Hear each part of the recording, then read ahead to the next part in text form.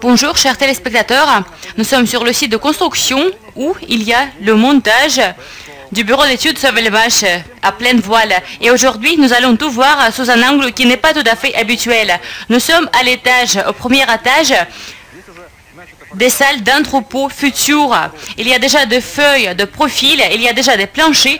Plus tard, on va renforcer l'armature et couler du béton. Ainsi, nous aurons le revêtement de sol tout prêt où les employés, l'équipement spécialisé et bien sûr ce qui sera stocké ici bougera sans problème.